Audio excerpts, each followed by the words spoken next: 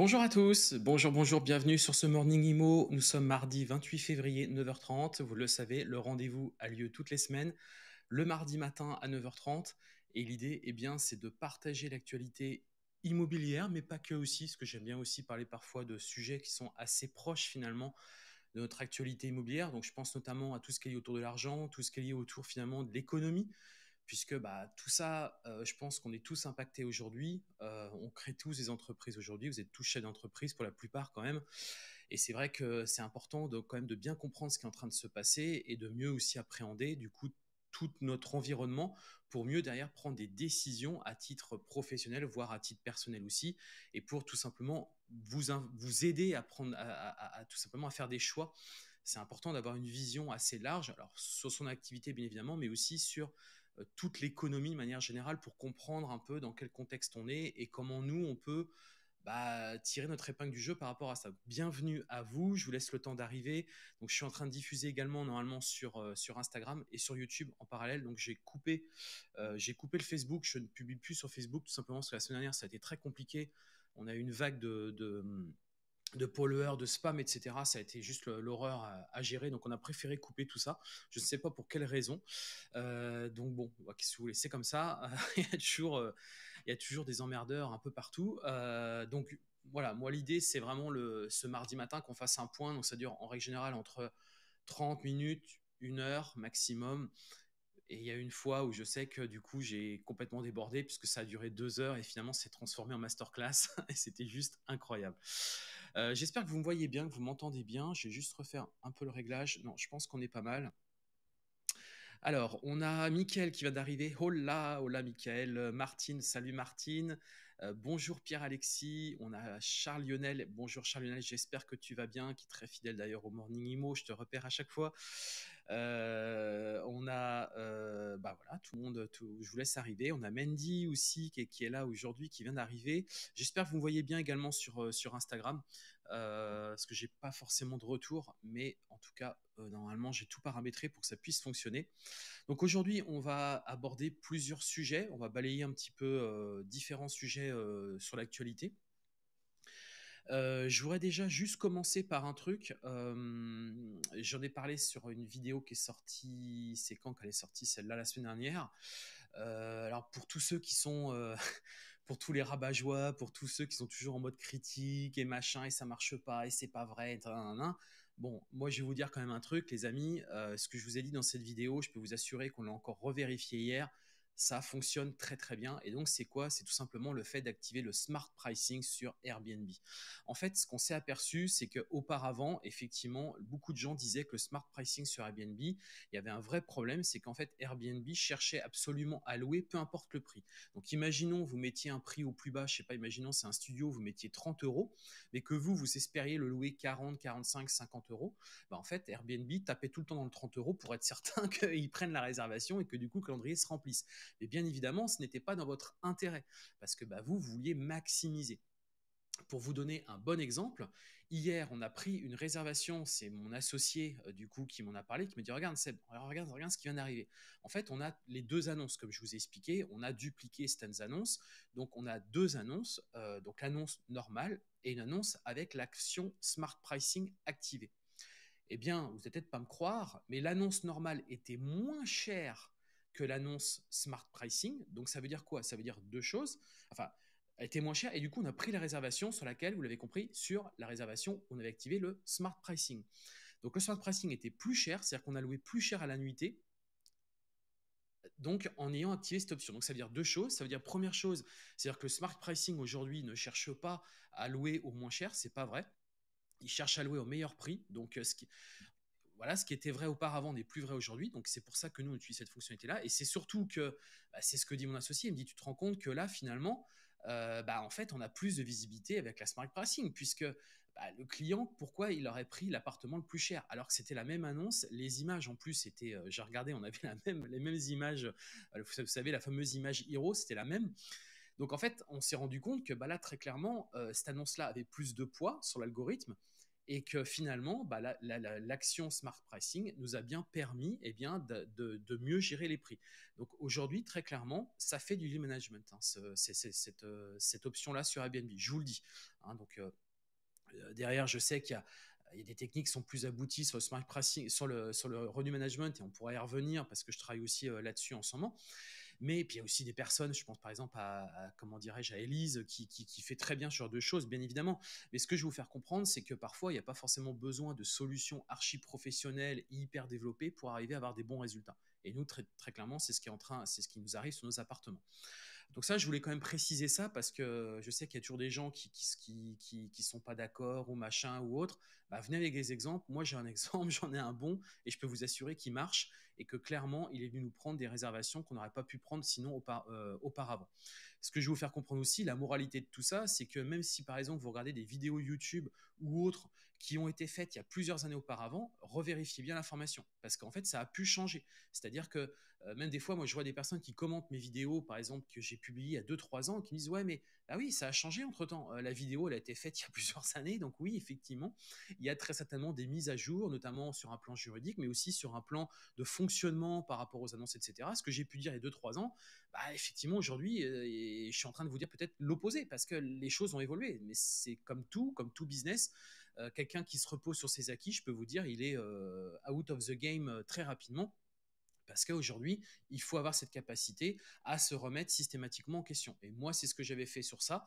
Et vous voyez, aujourd'hui, je partage ça librement avec vous. Donc ça, je voulais vraiment faire une introduction par rapport à ça pour que vous puissiez bien comprendre qu'aujourd'hui, il y a voilà la vidéo que je vous ai envoyée sur YouTube il y, a, quelques la semaine dernière, je crois, où je parlais de ça. Bah, regardez-la pour ceux qui l'ont pas vu et re-regardez-la pour ceux qui l'ont déjà vu. Vous verrez que appliquez ce que je vous ai expliqué là et vous verrez que les résultats que vous obtiendrez derrière. Euh, je voulais aussi commencer par vous dire que jeudi, donc euh, après-demain, on fait un, webinaire sur la sous-location. Je fais un webinaire sur la sous-location. Donc soyez présents euh, parce que bah, du coup, j'ai pas mal d'infos à vous communiquer et aussi, alors bon, ceux qui font déjà de la sous-location, il n'y a pas nécessité à, ou qui ont déjà rejoint mes programmes, ça sert à rien de venir sur ce webinaire-là, parce que c'est plus un webinaire d'introduction. Donc, si vous êtes déjà évolué, ça sert à rien. Mais en, tout cas, pour ceux qui ne, ne se sont toujours pas lancés ou qui avaient ça en tête, qui y pensaient, bah, venez jeudi, franchement, à 20h, parce que voilà, euh, j'ai vous livré pas mal d'informations euh, intéressantes, et notamment aussi avec RDNA, puisque euh, je, suis en train de mettre en place un partenariat avec eux assez, assez fort, et je voudrais vous partager tout ça. donc soyez présents jeudi. Qu'est-ce que je voulais vous dire d'autre? Voilà, déjà on commence par ça. Alors ensuite on va parler d'actualité. Euh, alors moi, je voudrais déjà commencer par. Euh, alors, c'est pas forcément de l'actualité euh, immobilière, enfin pas pas directement, mais je voulais quand même en parler parce que, enfin, on n'en parle pas trop, je trouve, dans les médias et c'est un peu un peu bizarre. Enfin, on en parle, mais pas plus que ça, je trouve. Et pourtant, l'information est quand même importante. Euh, je pense que vous l'avez tous euh, observé. Euh, on a les magasins physiques qui sont en train de fermer de manière. alors, c'est pas de l'immobilier directement, mais enfin quand même, parce que indirectement, l'immobilier va être touché. On a tous les commerces aujourd'hui de proximité qui sont en train de, en train de fermer. c'est un fait. Euh, donc là, moi, celui que alors il y a Saint-Marina, il y a Burton, il y a euh, Célio, il y a Camailleux, il y a, euh, il y en a plein, hein, il y a plein, plein, plein. là, on a et celui qui m'a franchement qui m'a qui m'a coupé l'herbe, enfin qui m'a qui m'a scié, c'est celui de c'est celui donc Galeries Lafayette. Moi, je vois typiquement sur ma ville, ma petite ville de, de 130 000 habitants. Bah, c'est le seul endroit, on va dire, où on peut trouver des produits un peu de marque, un peu sympas, euh, avec une diversité euh, sur différents étages. Enfin, c'est finalement le seul môle, si je peux dire ça comme ça, de ma ville. Donc je me dis, si demain cette entreprise-là disparaît, franchement, alors là, je peux vous assurer que moi, j'ai plus trop intérêt à aller dans le centre-ville de ma ville. Et encore une fois, tout ça, bah, à cause de quoi? À cause des gros centres commerciaux qui, qui, prennent de plus en plus d'ampleur, hein, c'est un fait. Et puis aussi, à cause de quoi? Bah, Tout simplement à cause aussi du e-commerce, hein, c'est un fait. Euh, le e-commerce aujourd'hui est venu, euh, bah, forcément, vous propose une, richesse dans tous les produits que vous pouvez trouver que vous ne trouverez pas en magasin. C'est vrai. Mais enfin, moi, euh, qui, est consommateur bah, de, produits comme vous, moi, c'est vrai que j'aime bien aussi, c'est un moment aussi agréable d'aller dans un magasin physique et de pouvoir toucher le produit, voilà, de, dans un environnement un petit peu particulier, malheureusement. Bah, moi, tous ces magasins-là, je les ai connus quand j'étais jeune. Aujourd'hui, j'ai 47 ans. J'ai connu tout ça. Bah, vous aussi, vous l'avez connu, bien évidemment. Mais je pense aux plus jeunes, peut sont peut-être moins, euh, moins sensibles à ce genre de choses. Moi, pour moi, ça me fait vraiment mal au cœur de voir tout ça. C'est, ça fait mal au cœur parce que tous ces magasins-là font l'attractivité d'une ville.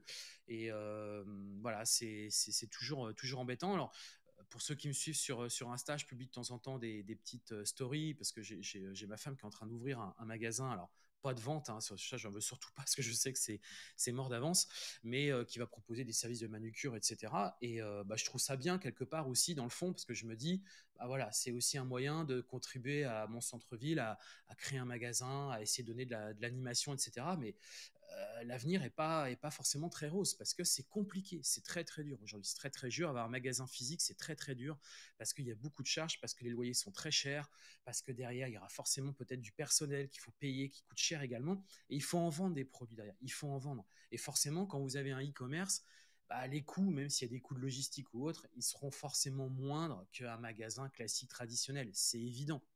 Alors, euh, comment dirais-je? Moi, je suis euh, quelqu'un, vous le savez, qui euh, qui, est jamais en train de, de, dire euh, ah ouais euh, c'est c'est n'importe quoi non je suis pas dans ce mode là je, suis en train d'observer de voir ce qui se passe et donc ce que je veux vous faire comprendre c'est que bah oui on a une transition petit à petit vers le e-commerce ou vers d'autres types de magasins. Et malheureusement, les magasins traditionnels classiques qui existaient auparavant bah, en train de, disparaître. Quoi. C'est, un fait. Donc c'est juste dommage parce qu'effectivement, à mon sens, on pourra pas tout le temps tout faire. Je vois hier, j'ai eu trois rendez-vous Zoom. Euh, bon, je me disais à la fin de journée, je me dis, ouais, je me dis, bon, c'est bien les rendez-vous Zoom, etc. Mais c'est vrai que ça remplacera jamais l'humain et il faut pas qu'on le perde de vue non plus. Et je pense aussi à l'intelligence artificielle, etc. J'en ai beaucoup parlé, c'est très bien. Hein. Certaines personnes m'ont dit oui, euh, euh, tu peux pas parler de ça tout le temps, enfin ou alors c'est n'importe quoi. Non, mais c'est juste que sur un plan technique, moi en plus je suis quelqu'un bah, qui vient de, l'ingénierie. Donc forcément, moi, tout ce qui est technique, nouvelles technologies, ça, c'est plus ma curiosité en tant que... Ouais, c'est plus de la curiosité, c'est parce que ça, ça me plaît, les nouvelles technologies, etc. Mais effectivement, après, il faut essayer de voir plus loin et de se dire quel, est, sera réellement l'impact de ce genre de choses. Bien évidemment, hein, euh, je suis humain avant tout, euh, je suis pas un robot, euh, bien évidemment.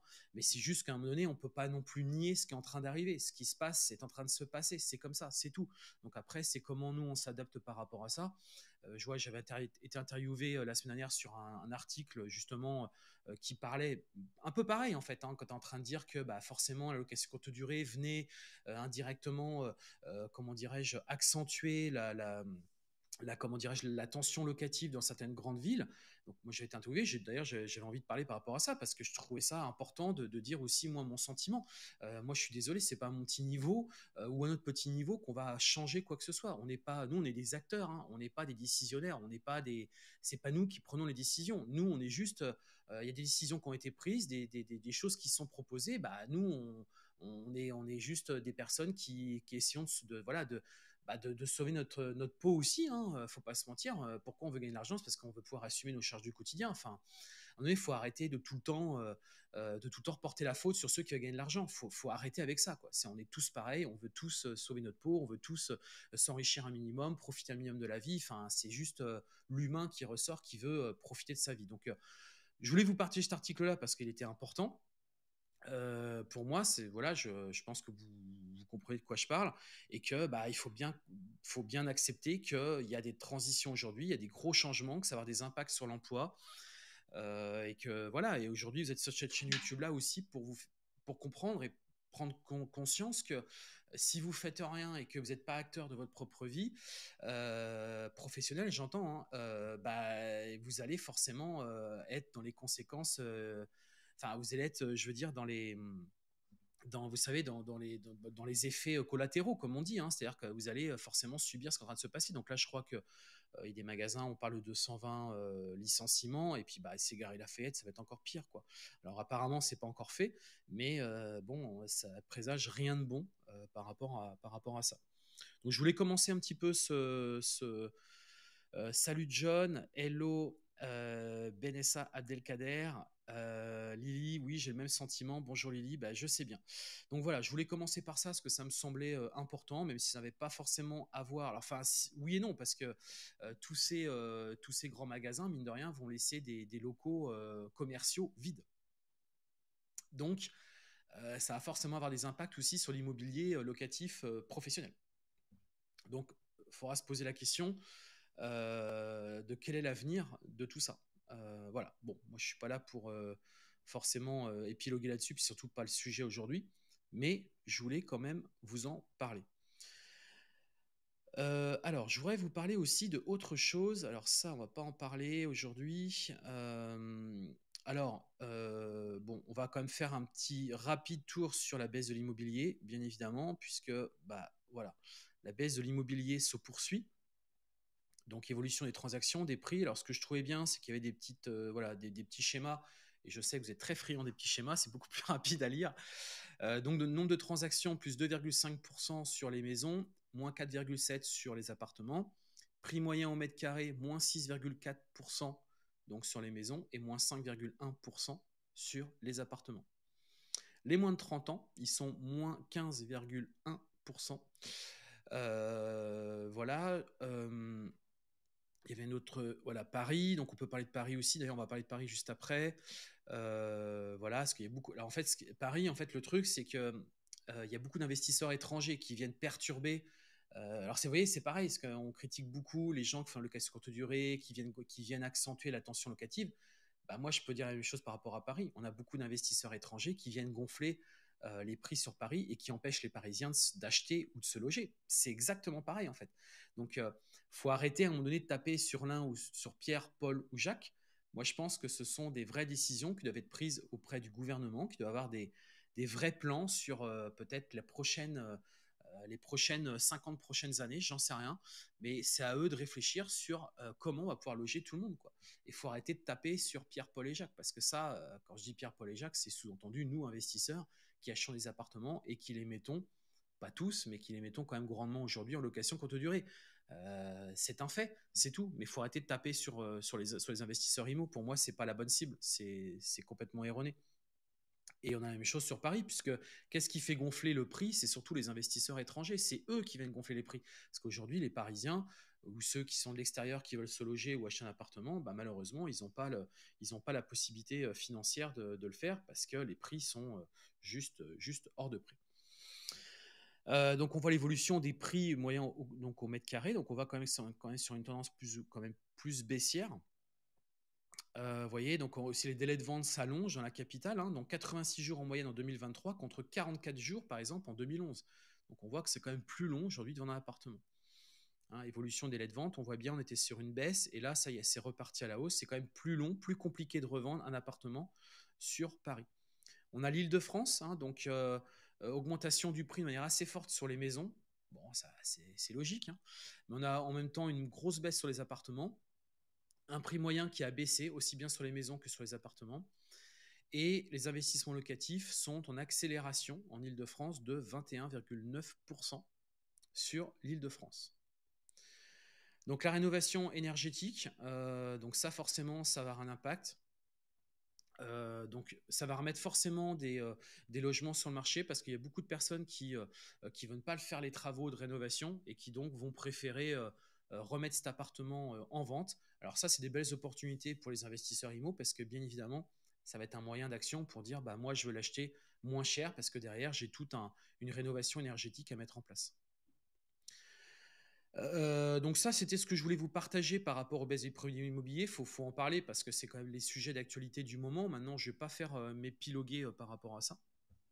Il y a le grand magasin, c'était à Paris-Rivoli qui ferme incroyable, me dit Lily. Bah voilà, c'est c'est juste incroyable. Je suis complètement d'accord avec toi, ce qui est en train de se passer en ce moment.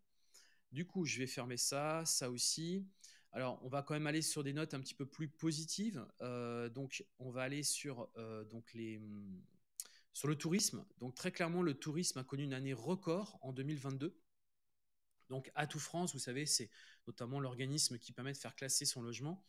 eh bien, estime dans une note de conjoncture que les recettes du tourisme international dans l'Hexagone se sont élevées à près de 58 milliards d'euros en 2022, un record qui dépasse les résultats de l'avant-Covid.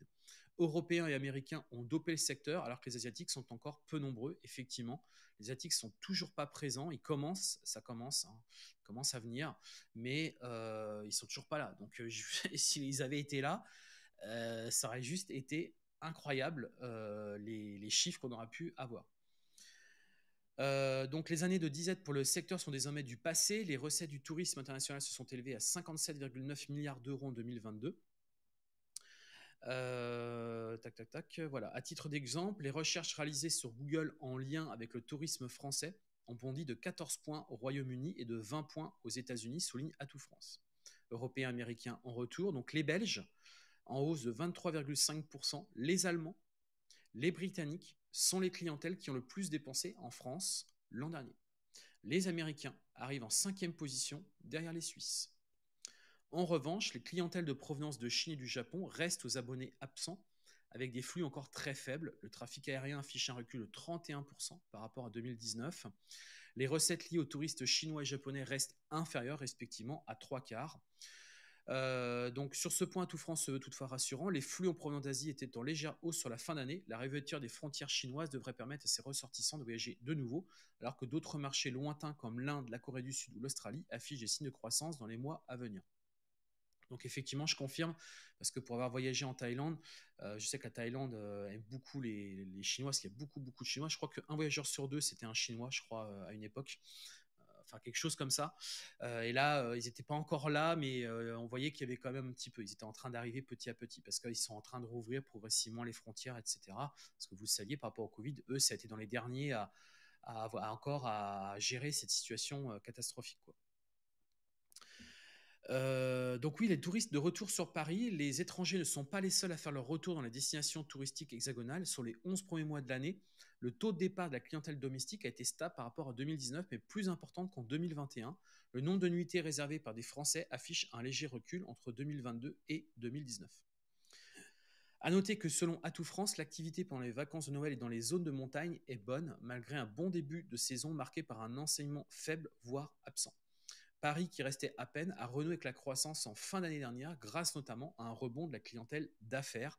Et les taux de réservation pour le premier trimestre 2023 sont toujours supérieurs à 2022. Allez, on va continuer. Euh, alors, justement, on va parler de Paris. Euh, cet article-là, je pense qu'il s'adresse vraiment aux Parisiens. Euh, pour ceux qui cherchent à, investir, ils ont fait un petit classement que je trouve plutôt pas mal et il n'y a pas beaucoup des trucs comme ça. Euh, donc, ils ont sélectionné en fait des villes de plus de 10 000 habitants euh, qui sont situées à moins de 1h30 en voiture ou en train de Paris même, donc jusqu'à l'île Nord. Nous y avons ensuite associé divers critères, parmi lesquels ceux liés à la ville, la part de locataires, l'évolution de la population, le taux de chômage et le nombre de cambriolages. La vacance locative au prix de l'immobilier. Donc ça, moi je trouve ça peut être intéressant, alors déjà pour les primo-accédants, bien évidemment, mais aussi pour eh euh, ceux qui veulent faire des investissements locatifs.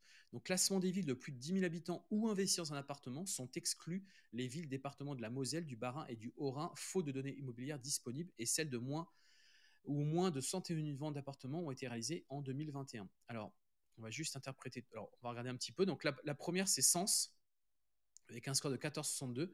On a la sur seine les Ulysses, Épinay sous Sénard, les Mureaux, Évry-Couronne, Vivier-le-Bel, Beauvais, Elancourt, Sarcelles, les Clés-sous-Bois, Fleury-Mérogis, Plaisir, Nogent-sur-Oise, Montigny-le-Bretonneux, Montigny-les-Corneilles, Fontenay-le-Fleury, Chevilly-la-Rue, Garguès-les-Gonesse et Noisiel. Alors, on peut aller plus loin, hein, parce qu'après, il y a d'autres pages, bien évidemment, mais je voulais quand même vous livrer les 20 premières villes qui sont déjà, à mon sens, intéressantes. Donc, la ville de Sens se classe donc en première position du palmarès. Son principal atout, la rentabilité qu'on peut tirer de la location d'appartements dans la sous-préfecture. On peut avoir des rendements bruts de 6-7%, difficilement trouvables en région parisienne. Euh, il faut viser le 2-3 pièces. Hein. De toute façon, ça, c'est assez, euh, assez, général maintenant. Hein. Euh, pour les jeunes couples ou les personnes vivant seules, comme une personne âgée amenée à quitter sa maison et qui souhaite s'installer en ville. Les familles, elles, se dirigeront plutôt vers la maison. Vous voyez, Sens, vous êtes investisseur IMO, bah, Regardez un petit peu ce qu'il est possible de faire, ce qui est possible d'acheter ou quoi, et faire du locatif semble a priori un, peu, plutôt intéressant. La présence en pôle position de la ville donc Dion vient confirmer l'intérêt du train pour les investisseurs franciliens. Sens se situe environ une heure de la capitale via le rail, et ce n'est pas beaucoup plus loin en voiture. Euh, Clarisse Quentin relève d'ailleurs déjà voir, des investisseurs originaires d'Île-de-France qui achètent des appartements attirés par la proximité de la ville et des prix bas. Fleury-les-Aubrais, Mainvilliers ou Le Mans, voilà. Dans le top 40, notre classement partage les mêmes atouts. Donc Le Mans, vous savez, je vis au Mans. L'essentiel des villes où investir se situe quand même selon notre classement en Île-de-France, en Seine-et-Marne d'abord, où l'on se réjouit une excellente rentabilité avec un risque de vacances locatives relativement faible.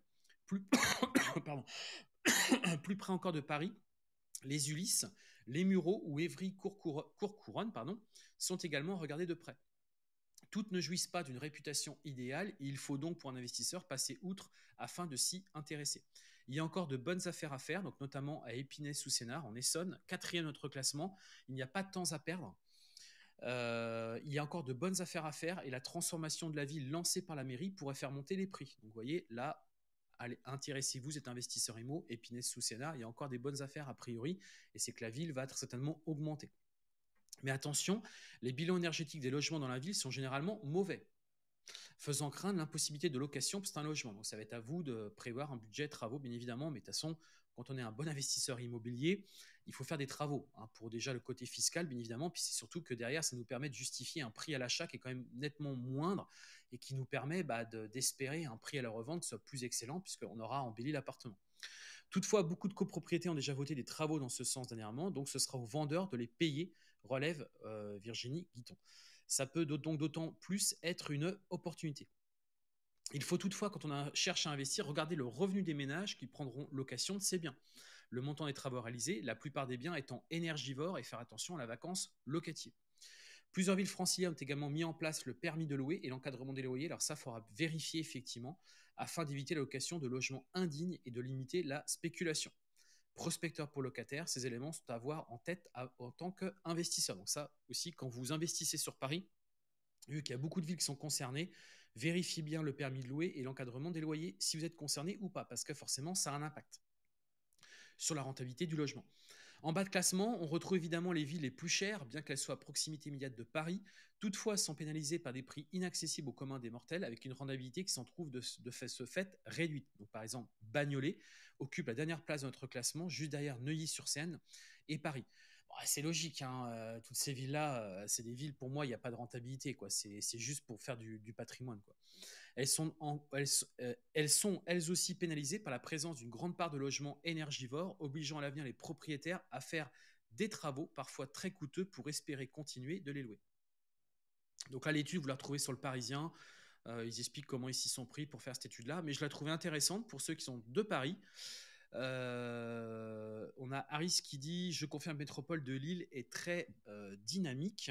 Voilà, donc là, moi je voulais partager ça pour les Parisiens, parce que je sais que euh, vous êtes quand même assez nombreux à regarder cette, ce, Morning Imo le matin. Et du coup, voilà, vous avez ici une belle liste, donc je vous invite à bah, y aller, enfin, tout simplement faire vos études. Hein. vous êtes en, en cours de, projet d'investissement IMO, bah voilà, je vous laisse regarder un petit peu ça. Vous retrouverez euh, du coup euh, cette étude sur le site du Parisien. Par contre, je sais pas, je crois qu'il faut être abonné parce que moi je suis abonné à pas mal de journaux.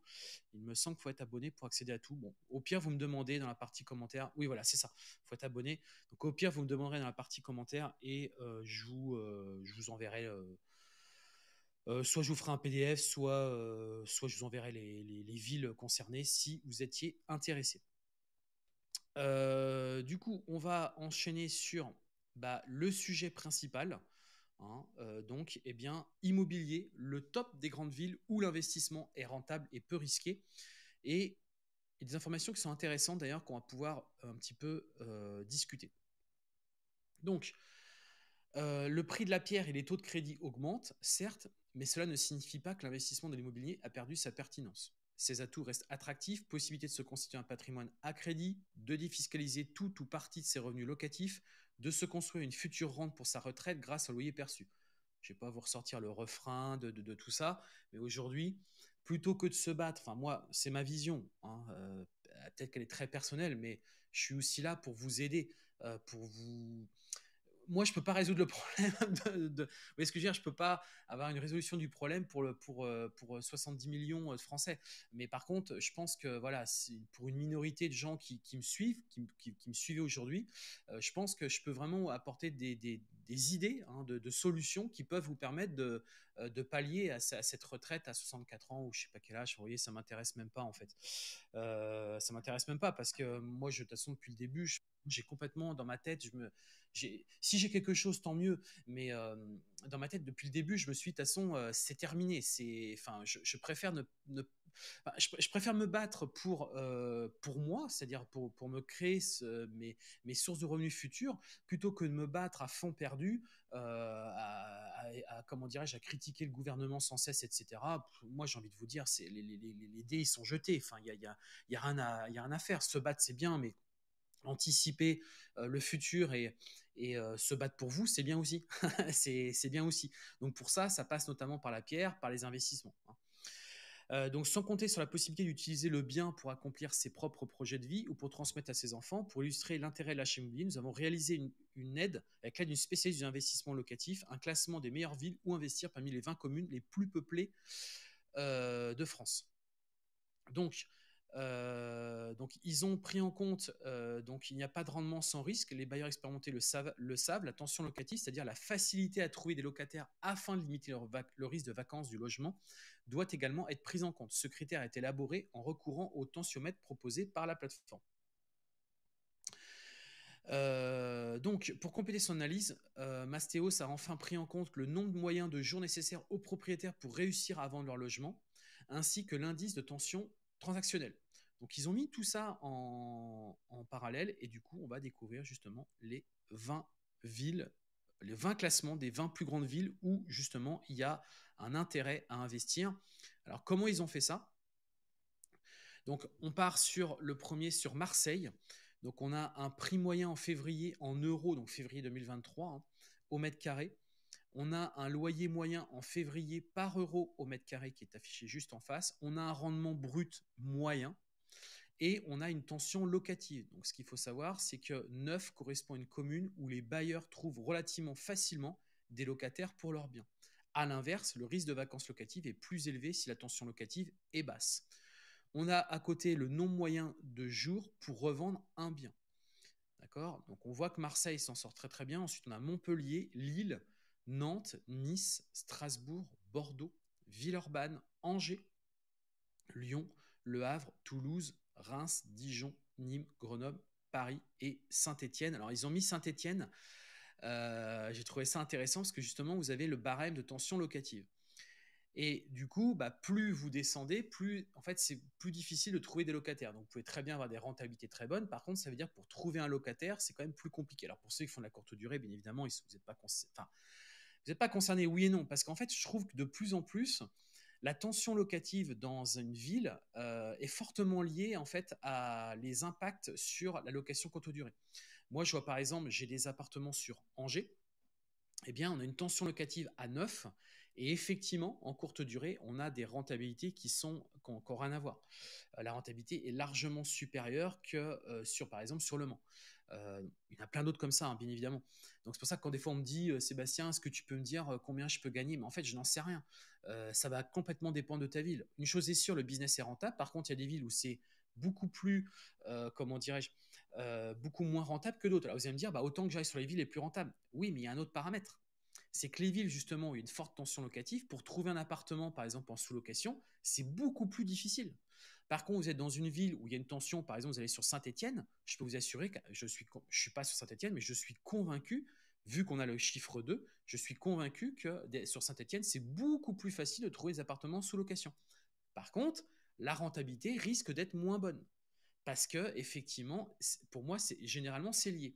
Donc, il y a son lot d'avantages, il y a son lot d'inconvénients, mais en tout cas, ça vous donne quand même des bons indices. Donc, oui, je voulais vous présenter cet article-là, bah, d'une part, pour des investissements IMO, pour ceux qui veulent investir, pour voir un petit peu bah, qu'est-ce qu'on est capable aujourd'hui, enfin, quelles sont les villes qui sont recommandées, mais aussi pour ceux qui font de la sous-location, parce que bah, l'attention locative va vous donner en fait une vision sur la ville. Ça va être plus dur pour trouver l'appartement. Par contre, quand vous l'avez trouvé, la rentabilité va être quand même nettement meilleure parce qu'il y, a une tension locative. Donc forcément, bah, sur la courte durée, c'est un impact, forcément.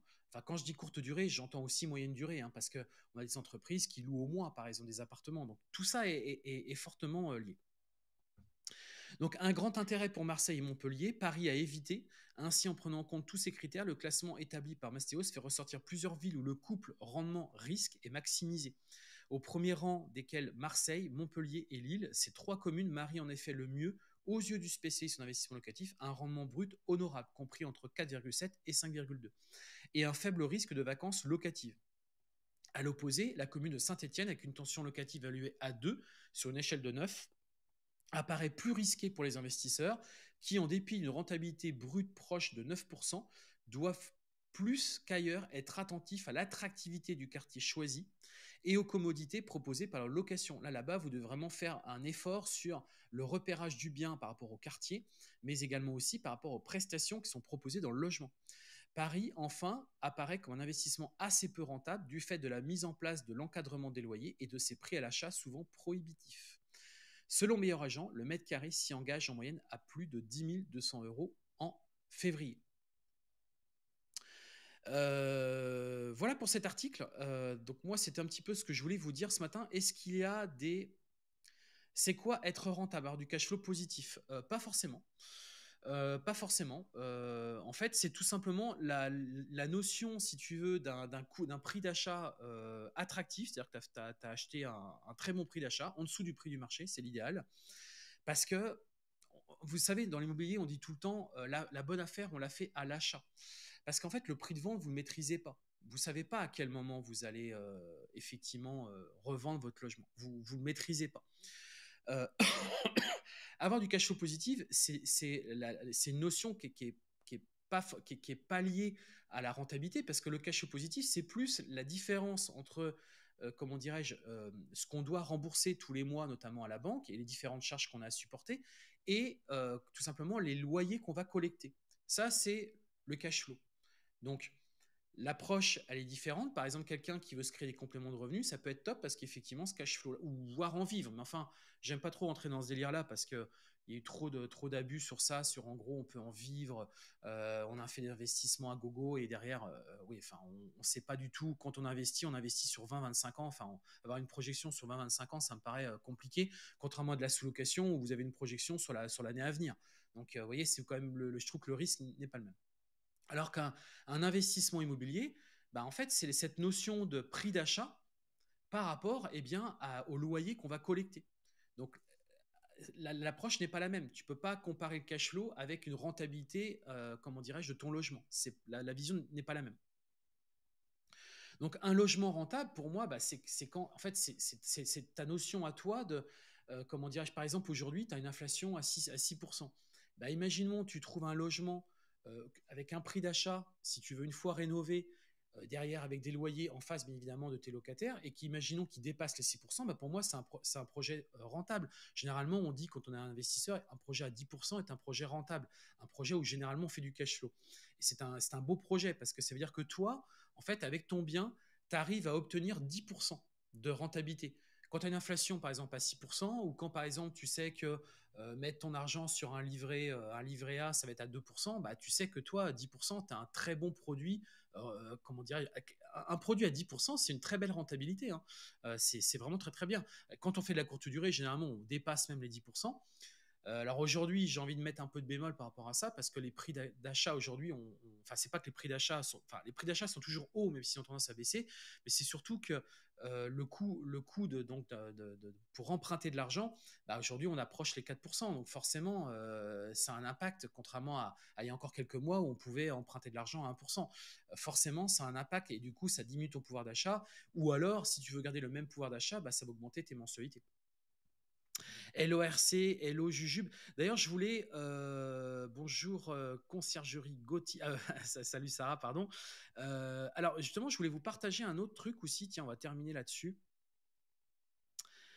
alors, attendez, je vais essayer de vous trouver ça. Où est-ce que j'avais glissé ce truc-là? J'avais pas prévu d'en parler forcément, mais du coup, on a un petit peu de temps. Tiens, je voulais vous partager. Ce, vous savez, je le fais assez souvent, ça. En fait, je partage les différents indices de l'immobilier. Donc là, c'est pour le mois de février. J'aime bien partager ça avec vous. C'est beaucoup, c'est assez graphique en plus, puis c'est assez parlant. Et pour ceux qui n'ont pas ce fichier-là, bah voilà, au moins ça, vous avez un petit aperçu. Attendez, je vous le prépare, qu'il soit bien visuel. Tac. Voilà. Et du coup, je vais partager mon écran. Alors du coup, je vais bah, fermer ça. Ça sert plus à rien. Voilà. Et je vous partage ça tout de suite. La fenêtre, elle est ici. Voilà. Du coup, je voulais vous partager. donc ça, c'est un récap, c'est une synthèse. Hein. donc la courbe noire, c'est l'indice du prix des logements anciens. La courbe verte, c'est le montant total des ventes de logements anciens. En marron, c'est le nombre de ventes de logements anciens. En bleu, c'est l'indice des loyers. Et en violet, en rose, pardon, c'est l'indice de durée d'emprunt pour acheter le même logement base 2000 égale 1. Donc, bah, on va commencer par le rose. Donc, on voit qu'on est en pleine augmentation. Le nombre total de ventes de logements anciens est en train de baisser. Hein, on le voit ici. L'indice du prix des logements anciens est en train de légèrement reculer. Hein. Euh, mais ce n'est pas encore très flagrant. Hein. C'est ce que vous disent d'ailleurs tous les, tous les analystes et tous les articles qu'on peut voir. C'est pas encore flagrant. D'accord? En marron, c'est le nombre de ventes de logements anciens. Donc là, lui qui est clairement en train de baisser, qui est juste ici. En bleu, c'est l'indice des loyers qui est en train de s'écrouler. D'accord? D'ailleurs, peut-être poser la question pourquoi justement les gens font de la courte durée de plus en plus? Parce que bah on peut pas louer au prix qu'on souhaite puisqu'il y a l'encadrement des loyers, parce qu'on ne on peut pas respecter, euh, l'IRL avait été capé à 3% l'année dernière, cette année je ne sais pas trop d'ailleurs. vous voyez, tout ça a des impacts, hein, forcément. Donc là, on a euh, du coup ici l'indice du prix des logements et des loyers, donc les différentes courbes. Donc en noir, c'est l'indice du prix des logements en France. En rouge, c'est l'indice du prix des logements sur Paris. Et en bleu, c'est l'indice des loyers en France. Là, c'est le montant total des ventes immobilières. Les placements en actions rapportés à la tendance longue, bon, ça ne va pas forcément s'y intéresser. L'inflation et le taux d'intérêt à long terme. On a ensuite l'indice du prix des logements et l'indice des loyers rapportés aux revenus par ménage. Donc ça, je la trouve plutôt intéressante. Ça reprend ce que je vous ai dit un tout petit peu plus haut. On a le taux d'intérêt et l'inflation. Donc l'inflation qui est en train d'augmenter fortement, c'est la courbe noire et en violet, c'est le taux d'intérêt net d'inflation. OK On a ensuite l'indicateur de pouvoir d'achat immobilier des ménages, donc qui est en train de rebaisser. On, revient, on va revenir progressivement sur les années 2008-2009. Durée d'emprunt permettant d'acheter le même logement. Donc là, on est en train de remonter.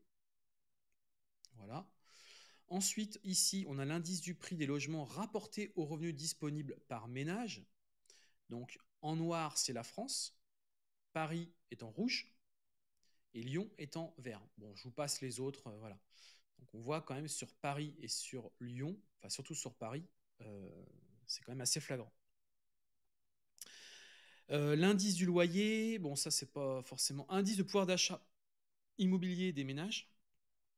Bah, on voit que toutes les courses sont en train de baisser, euh, sauf sur Paris et sur Lyon, on va dire, mais sauf sur Paris principalement, et l'Île-de-France, mais toutes les autres régions, euh, très clairement, l'indice de pouvoir d'achat immobilier hein, pour les primo-accédants, euh, donc pour en gros acheter donc de l'immobilier, bah, est en train de baisser sur toutes les villes, sauf sur Paris et Lyon.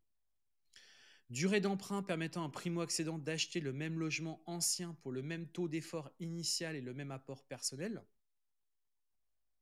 Donc en train d'augmenter partout, la durée d'emprunt, très clairement. Euh, ensuite, l'indice du prix des logements.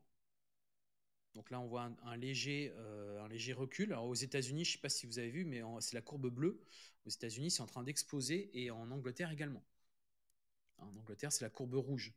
Nous, en France, ça s'est plutôt stabilisé là et on voit, on sent un, départ de, un, déclin. Pareil aux États-Unis, on voit qu'il y a un petit déclin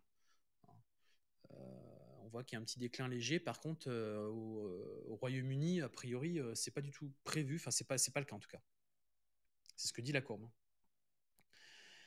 Euh, dette immobilière des ménages, donc en France, bah, on est à 87%, hein, donc euh, en pleine augmentation. Donc dette des ménages, hein, donc c'est la dette immobilière des ménages rapportée à leurs revenus disponibles. Vente de logements anciens et construction de logements neufs. Donc en bleu, c'est le bleu. Donc logement neuf, bah, on le dit tout le temps, mais si à un moment donné, on veut résoudre les problématiques de logement, il va falloir qu'il y ait des logements neufs qui sortent de terre. Enfin, c'est juste normal. Bon, on voit bien qu'on est en recul. Et vente de logements anciens, on est en recul également. Vitesse de rotation du parc de logements détenu par des personnes physiques, en déclin également. Euh, construction de logements neufs et croissance du parc de logements. Nombre de ventes immobilières soumises au droit de mutation de droit commun. Donc les logements anciens, bah, de toute façon les, courbes suivent, euh, enfin que ce soit tous les, tous les biens ou les logements anciens, ça suit à peu près les mêmes tendances taux d'intérêt des prêts immobiliers et de la dette de l'État. Donc en noir, c'est la dette de l'État à long terme. Et en bleu, c'est le taux des crédits immobiliers à taux fixe. Bon, vous voyez la courbe, hein, elle est très claire. Euh, qu'est-ce qu'on pourrait regarder d'autre qui pourrait euh, qui pourrait être intéressant, pardon. Euh, Ouais, en rouge, on a la dette immobilière des ménages en pourcentage du revenu disponible brut des ménages. Donc on voit que depuis les années 2000, hein, c'est en, forte progression. Voilà, je voulais vous partager ces courbes-là, ça me semblait intéressant pour terminer cette, matinée. Euh, toutes ces grandes villes n'ont peut-être pas mis en place des mesures pour empêcher la sous-location, courte durée, changement d'usage, compensation. Alors, la sous-location, en règle générale, n'a jamais, été euh, impactée. Ce qui est impacté, c'est la courte durée. Ou effectivement, de plus en plus dans les... Alors, c'est marrant que tu, me parles de ça, euh, Jean, parce que justement, samedi matin, j'ai fait un, live privé pour, pour ma communauté. On a fait intervenir, on a discuté avec Dimitri Boujard, avocat. Et justement, il ne faut pas, si vous voulez, aujourd'hui en France, il y a 35 000 communes. Je regardais encore hier avec RDNA. RDNA nous annonce qu'aujourd'hui, il y a 35 023 communes qui font du Airbnb sur 36 000 communes, je crois. Les communes euh, qui sont concernées par des changements de destination et des changements d'usage doivent être aux alentours de 15 communes à peu près. Moins de 20. Donc, moins de 20 communes concernées par toutes ces réglementations. Et en face, on a le reste. Donc, en gros, on a 35 000 communes qui ne sont pas concernées par rapport à ça. Donc, les amis, euh, moi, vous voyez ça comme vous voulez, mais moi, je vois le verre complètement à moitié plein. Euh, je ne le vois pas à moitié vide, je le vois vraiment euh, plein, plein de chez plein le verre. Parce que clairement, on a bien plus de communes qui ne sont pas concernées par cette réglementation que les communes en question dont là vous me citez. C'est toujours les mêmes communes. Et je vous l'ai toujours dit, ne ciblez pas ces communes-là, notamment par rapport à ces problématiques qu'on a aujourd'hui, mais qui, qui sont légitimes, parce qu'effectivement, la commune estime qu'il y a trop de logements courte durée, donc il faut imposer des règles. Mais ça, moi, j'y vois aucun inconvénient par rapport à ça.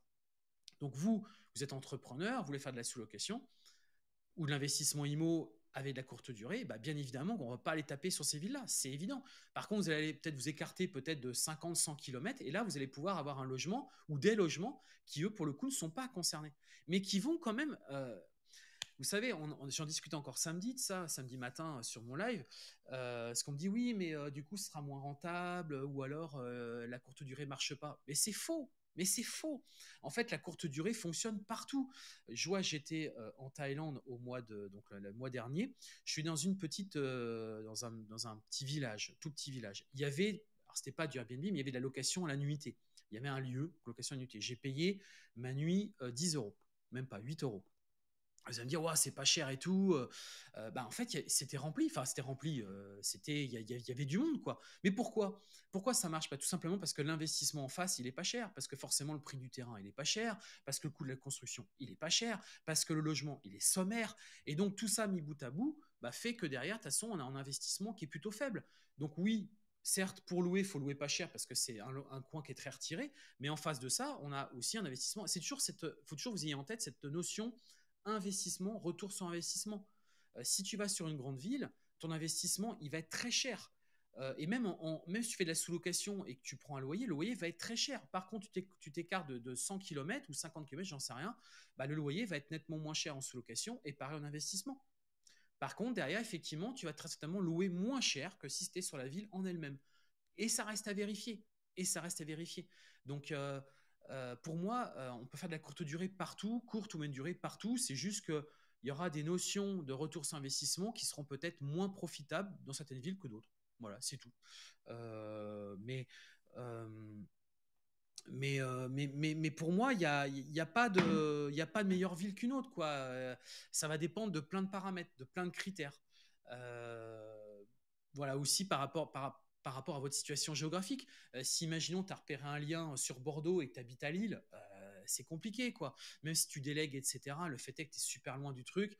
ça veut dire que peut-être une fois ou deux, tu iras de temps en temps, bah, ça nécessite des, allers-retours. ou alors, par exemple, si tu es en prospection, il va falloir que tu viennes passer plusieurs jours. Enfin, ça a des implications forcément derrière. Ou alors, il va déléguer de manière beaucoup plus forte parce que derrière, tu n'es jamais présent sur le lieu. Alors que quelqu'un, par exemple, qui est présent sur la ville, même s'il délègue, bah, il peut aussi parfois euh, mettre sa petite. Moi, par exemple, tu vois, sur ma ville, quand, je suis revenu euh, sur, ma ville, et j'aime bien faire le tour un petit peu de, de, mes appartements. Donc, je vais faire un petit tour, je regarde un petit peu les choses qui n'auraient pas été, je viens compléter certaines petites choses, je viens réparer euh, différents petits points dans mes. Moi, j'aime bien, parce que c'est aussi un côté, enfin, c'est le côté que j'aime bien aussi. J'aime bien mettre un peu de ma patte aussi personnelle dans tout ça. La, la, full délégation c'est pas pour moi. J'aime bien, moi je suis un homme de terrain, j'aime bien aussi voilà, faire un petit tour de mes appartements. Enfin, je trouve quoi. Je le vois pas uniquement comme un produit euh, financier ou un produit, euh, euh, ouais, un produit financier. Je le vois aussi comme un comme un projet aussi, voilà, enfin, c'est quelque chose qui me plaît de faire ça. Michael, je suis sur Nice. La limitation est à 120 jours pour le logement principal. Oui, paraît-il qu'on peut louer une partie de son logement principal et ne pas être assujetti à cette limitation. Euh, extension de ma, maison principale. Euh, euh, ça va dépendre de l'urbanisme, ça va dépendre de pas mal. C'est pas faux ce que tu dis, c'est pas faux, mais je suis pas certain. Il faudrait que je réfléchisse un peu plus à ton, à ta question et limite envoie-moi un WhatsApp que j'y réfléchisse un peu plus longtemps et que je me renseigne aussi pour être certain. par contre, sur Nice, une chose est sûre, tu es de mémoire sur Nice, tu as le droit à, c'est pas six logements, je crois, non, c'est pendant six années, tu as le droit de louer, je crois, trois logements en courte durée, il y a un truc comme ça, je crois. Donc chaque ville a sa propre réglementation aussi, c'est vrai que je ne l'ai pas dit, chaque ville a sa propre réglementation. Donc ce qui est vrai dans une n'est pas vrai dans l'autre. Là, vous voyez, par exemple, on a parlé de Marseille samedi matin. Euh, sur le live, on a fait un point sur Marseille parce qu'on a quelqu'un justement qui a eu plein de retours de l'urbanisme. Vous voyez, sur Marseille, il y a des possibilités de faire de la sous-location. Et oui, malgré que ça soit une grande ville. Donc, euh, euh, donc il y a toujours son lot de possibilités. Sachez aussi qu'il il y a des avocats aujourd'hui qui sont spécialisés là-dedans et qui sont là aussi pour vous aider à trouver des solutions sur les règlements de copro, donc tout ça n'est pas n'est pas quelque chose de inscrit dans le marbre. c'est en pleine mutation, ça c'est sûr. Il y a plein de choses qui arrivent. Voilà. Maintenant, il faut travailler avec, il faut avancer avec. C'est tout. C'est voilà. C'est c'est comme quand une entreprise, on vous dit bah, la fiscalité c'est ça, il faut faire ça, pas ça. Bon bah ça change chaque année. Il y a toujours des mises à jour. Bah, c'est à nous nous adapter. Vous êtes un entrepreneur, vous êtes là pour vous adapter à la situation. Et, voilà, c'est ce, ce, qui fait votre force aussi. Hein. si c'était si facile que toutes les villes, mais il y aura tout le monde qui le ferait. Par contre, vu qu'il y a des complexités, bah, effectivement, ça nécessite d'avoir des prises de formation, ça nécessite peut-être se rapprocher d'experts, etc. Pour... Mais c'est ça aussi qui fait que vous créez de la richesse, parce que vu que vous avez un savoir-faire derrière, bah, ça veut dire que monsieur, madame, tout le monde demain ne peut pas faire la même chose que vous. Donc comprenez que tout ce qui est difficile est excellent pour un entrepreneur. Parce que si c'est difficile et compliqué, mais que vous, vous avez l'équation, vous savez résoudre l'équation, bah en fait, c'est ce qui fait que vous, vous allez sortir votre épingle du jeu et vous allez gagner de l'argent parce que vous, vous savez résoudre le problème. Vous comprenez ça Alors que si c'était si facile et que vous pouvez le faire partout, machin, il y aurait tout le monde qui le ferait. Et bah en fait, il y aurait une concurrence tellement énorme que bah en fait, euh, à un moment donné, il y aurait pas la part du gâteau serait pas suffisamment grande. Vous comprenez le truc Voilà, 6 euh, ans. Voilà, Michael, voilà, c'est ça, 6 ans. Euh, moi, je pense qu'on a terminé. Donc, je voulais vous rappeler jeudi 20h, euh, webinaire sur la sous-location. Donc, inscrivez-vous si vous voulez vous lancer dans la sous-location dans votre vie. Je sais qu'il y a beaucoup d'investisseurs qui sont aujourd'hui bloqués par les banques, qui n'arrivent pas à valider les projets. Moi, le premier, c'est très compliqué entre le taux d'usure, l'apport qu'il faut apporter, c'est très très dur, vraiment. Donc, je sais qu'il y a beaucoup d'investisseurs immo qui aujourd'hui sont en train de se reconvertir sur la sous-location pour continuer à développer leur parc immobilier. Donc, si c'est un truc qui vous intéresse, venez jeudi, on en parle à 20h webinaire sur la sous-location. Ça devrait vous plaire. Vous trouverez le lien sur euh, mon site internet www.lesoulware.fr. Euh, vous allez sur, je crois, euh, je sais plus, il y un onglet, vous cliquez, vous allez pouvoir trouver le lien, vous inscrivez, comme ça, on sera ensemble jeudi, me dit Lily, jeudi à 20h, on sera ensemble connectés. Voilà. Allez, sur ce, moi je vais vous souhaiter un bon mardi, une belle semaine, profitez bien, portez-vous bien, prenez soin de vous et à très vite.